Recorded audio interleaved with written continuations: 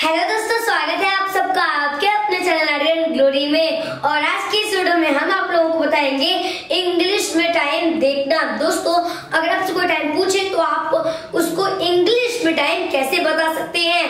दोस्तों, अगर आपने वीडियो लास्ट तक देखी, तभी आपको अच्छे समझ में आएगा। दोस्तों, टाइम देखने हम आपको आज इतना इजीली बताएँगे कि आपको दोस्तों कभी लाइफ में भूलेगा ही नहीं दोस्तों आपको हमेशा के लिए याद हो जाएगा। जैसे दोस्तों, मान लीजिए कि कोई आपसे पूछे व्हाट दिस टाइम मीन समय क्या हो रहा है? मीन समय कितना हो रहा है? तो दोस्तों, अगर मैं नौ बज रहा है तो आप कह देंगे कि इट्स नाइन ओ क्लॉक अगर दोस्तों दो बज रहा है तो कहेंगे इट्स टू ओ क्लॉक दोस्तों, इस तरह से आज हम आपको बताएँगे कि आप इंग्लिश में टाइम कैसे बता सकते हैं। अगर नाइन बजने में फाइव मिनट कम है तो उसको आप क्या बोलेंगे? अगर एट बजने में कम है तो उसको आप क्या बोलेंगे? दोस्तों, ऐसे हम आपको आज बताएँगे। दोस्तों, अगर आपको वीडियो पसंद आएगी तो इसको लाइक करिएगा। अभी तक आपने चैनल को सब्सक्राइब नहीं किया तो सब्सक्राइब करके बेल आइकन को ज़रूर दबाइएगा। तो दोस्तों, चलिए बिना किसी इस वीडियो को शुरू करते हैं। अब जैसे दोस्तों, मान लीजिए कि आपसे किसी ने पूछा कि व्हाट इज़ द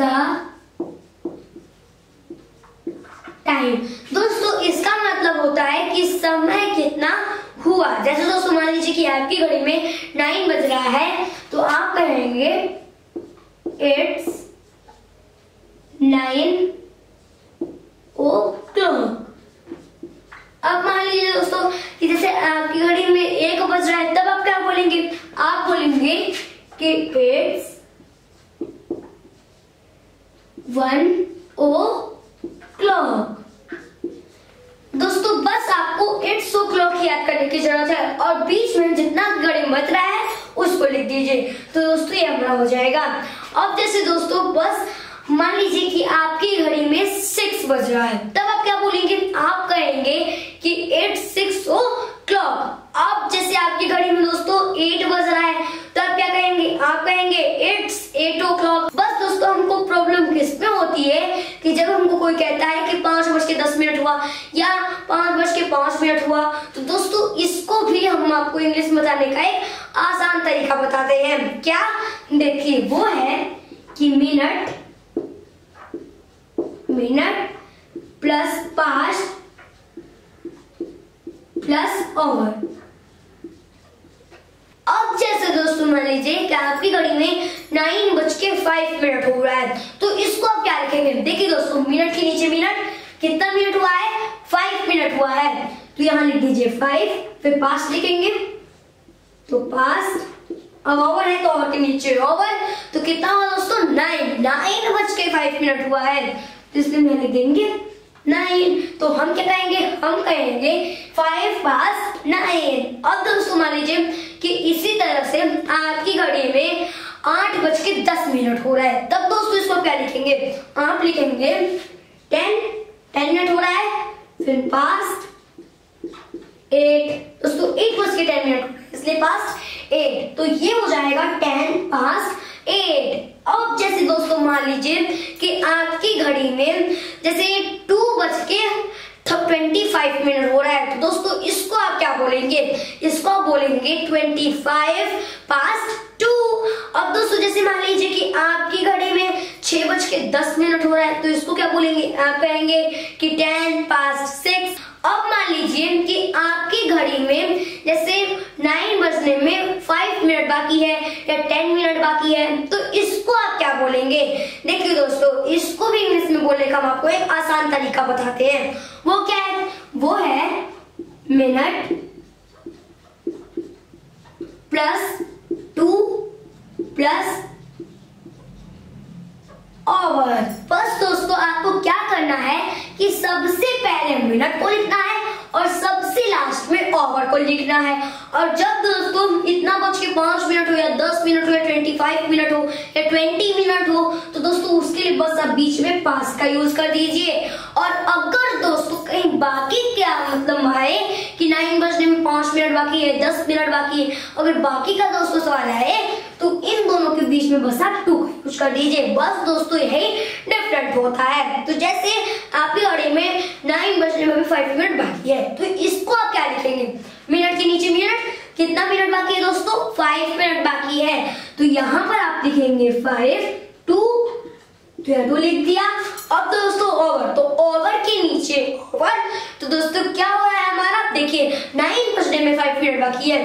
तो हम यहाँ ओवर के नीचे लिख देंगे नाइन तो इसको हम क्या पढ़ेंगे दोस्तों? हम पढ़ेंगे फाइव टू नाइन अब जैसे मान लीजिए कि आपकी घड़ी में दोस्तों ट्वेल्व बजने में अभी थ्री मिनट बाकी है। तो इसको आप क्या लिखेंगे? देखिए दोस्तों, आप लिखेंगे थ्री थ्री मिनट बाकी है, टू, और दोस्तों और के नीचे, और यहाँ पर ट्वेल्व ट्वेल्व बजने में थ्री मिनट बाकी है तो इसको हम बोल देंगे थ्री टू अब जैसे दोस्तों मान लीजिए कि इसी तरह से आपकी घड़ी में ग्यारह बजने में भी दस मिनट बाकी है तो अब क्या बोलेंगे आप कहेंगे कि टेन टू इलेवन अब दोस्तों जैसे मान लीजिए कि आपकी घड़ी में एक बजने में ट्वेंटी मिनट बाकी है तो इसको आप क्या बोलेंगे आप कहेंगे कि ट्वेंटी टू वन तो दोस्तों इस तरह से होगा अब जैसे दोस्तों कि देखिए हम आपको कुछ बता देते हैं। क्या?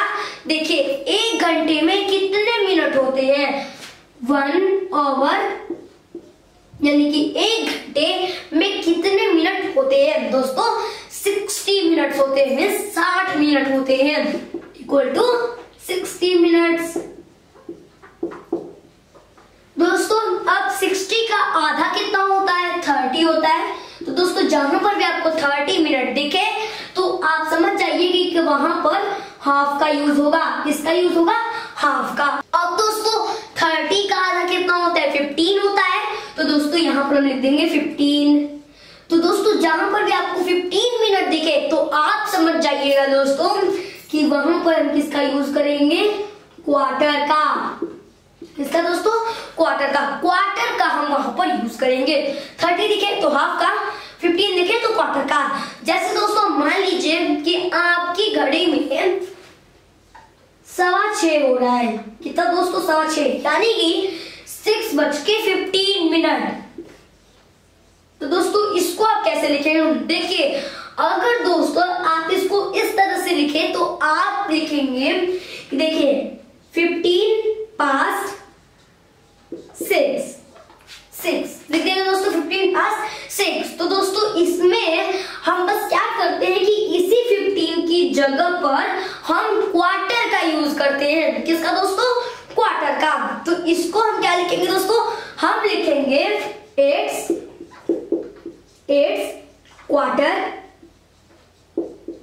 it's quarter past quarter past six तो यहाँ पे सवा छ हो रहा है। मीन सिक्स बज के फिफ्टीन मिनट हो रहा है। तो एक क्वार्टर पास्ट सिक्स दोस्तों, अब जैसे इसी तरह से मान लीजिए कि आपकी घड़ी में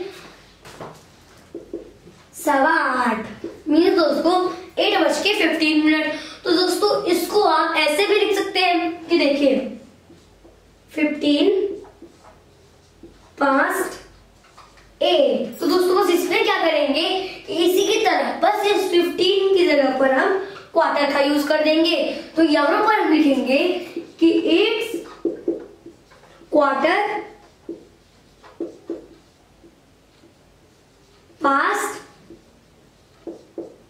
एट क्या लिखेंगे दोस्तों इट्स क्वार्टर पास एट अब जैसे दोस्तों मान लीजिए कि आपकी घड़ी में एक बज के पंद्रह मिनट हो रहा है तो इसको आप क्या बोलेंगे? आप बोलेंगे कि इट्स क्वार्टर पास वन अब जैसे आपकी घड़ी में दोस्तों कि चार बज के पंद्रह मिनट हो रहा है तो इसको क्या बोलेंगे? आप कहेंगे कि इट्स क्वार्टर पास फोर दोस्तों चार बज के पंद्रह मिनट हो रहा है, इसलिए हम बोलेंगे इट्स क्वार्टर पास फोर अब दोस्तों मान लीजिए कि जहाँ पर हमको मिनट थर्टी दिया है तो उसमें आप किसका यूज़ करेंगे? हाफ़ का यूज़ करेंगे? तो जैसे कि आपकी घड़ी में अढ़ाई बज रहा है मीन्स कि दो बज के तीस मिनट हो रहा है। तो दोस्तों, इसको आप कैसे लिखेंगे? देखिए, हम इसमें क्या करते हैं कि हाफ़ का यूज़ करते हैं। तो हम यहाँ पर बस इसी की जगह पे जो क्वार्टर है, इसकी जगह हाफ़ का यूज़ कर देंगे। तो देखिए दोस्तों, हम लिखेंगे इट्स हाफ़ पास्ट टू क्या लिखेंगे दोस्तों? इट्स हाफ़ पास्ट टू अब जैसे दोस्तों मान लीजिए कि आपकी घड़ी में चार बज के तीस मिनट हो रहा है मीन साढ़े चार हो रहा है तो इसको आप क्या लिखेंगे दोस्तों, कि इट्स हाफ़ पास्ट फोर दोस्तों फोर बज के तीस मिनट हुआ है। इसलिए यहाँ पर इट्स हाफ़ पास्ट फोर लिख देंगे। अब जैसे दोस्तों कि आपकी घड़ी में साढ़े सात हो रहा है मीन सेवन बज के थर्टी मिनट हो रहा है। तो इसको क्या बोलेंगे दोस्तों? आप बोलेंगे इट्स हाफ़ पास्ट सेवन और अगर मान लीजिए कि आपकी घड़ी में नौ बज के तीस मिनट हो रहा है मीन की साढ़े नौ हो रहा है तो इसको आप क्या बोलेंगे? आप बोलेंगे कि इट्स हाफ़ पास्ट नाइन दोस्तों, अभी तक तो हमने देखा कि अगर यहाँ पर छह बज के पंद्रह मिनट हो रहा है मीन्स पंद्रह मिनट हो रहा है तो उसमें हम क्या करेंगे कि यहाँ पर पास का यूज़ कर लेंगे इट्स क्वार्टर पास सिक्स दोस्तों, हम इसका यूज़ कर लेंगे। अगर दोस्तों हमारा पंद्रह मिनट बाकी हो, बाकी का शब्द आए तो आप क्या करेंगे दोस्तों? इसके लिए आप क्या करेंगे कि जो पास्ट है, बस दोस्तों इसको काट करके उसकी जगह पर टू का यूज़ कर देंगे। तो दोस्तों, आपका बन जाएगा। जैसे दोस्तों कि हमने लिया कि पौने आठ। मीन दोस्तों सेवन बज के फोर्टी फाइव मिनट पंद्रह मिनट बाकी है। तो दोस्तों, जब पौने आठ। तो देखिए, अब इसको लिखना है तो कैसे लिखेंगे? हमने आपको बताया कि बस पास्ट की जगह टू का यूज़ करना है। तो आप इसको बोलेंगे कि एट्स क्वार्टर टू एट दोस्तों, यहाँ पर देखिए कि एट बजने वाला है, क्योंकि जब फिफ्टीन मिनट बाकी है कि मीन्स एट बजने वाला है तो दोस्तों, यहाँ पर आप एट ही लिखेंगे, ना कि आप सेवन लिख दे। दोस्तों एट ही होगा यहाँ पर। अब जैसे दोस्तों, आपकी घड़ी में पौने तीन हो रहा है मीन्स टू बज के फोर्टी फाइव मिनट तो दोस्तों, इसको आप कैसे लिखेंगे? बस इसी की तरह लिखेंगे। तो यहाँ पर लिख देंगे एट क्वार्टर टू थ्री दोस्तों थ्री बजने वाला है, इसलिए हम यहाँ पर थ्री लिख दिया।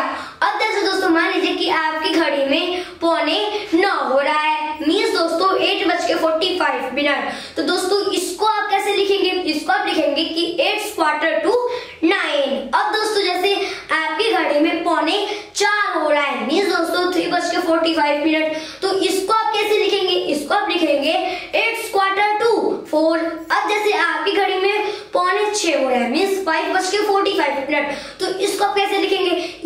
लिखेंगे कि एट्स क्वार्टर टू सिक्स तो दोस्तों, इस तरह से हमारा हो जाएगा। जब मतलब दोस्तों, जब पंद्रह मिनट हमारा कम रहता है तो इस तरह से जाएगा। तो अगर आपको वीडियो पसंद आई होगी तो इसको लाइक करिएगा। अभी तक अपने चैनल को सब्सक्राइब नहीं किया है तो सब्सक्राइब करके बेल आइकन को ज़रूर दबाइएगा। तो दोस्तों, मिलते हैं अपने अगले वीडियो में। तब तक के लिए मेरे सभी दोस्तों को मेरे तरफ़ से जय हिंद, जय भारत।